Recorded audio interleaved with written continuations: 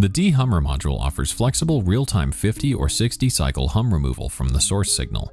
The harmonics knob adjusts the harmonic content that the De-Hummer detects. Generally speaking, this is best left in the center position. But if you know that the hum contains mostly odd or even harmonics, adjusting this knob will help you optimize the De-Hummer for the specific source material.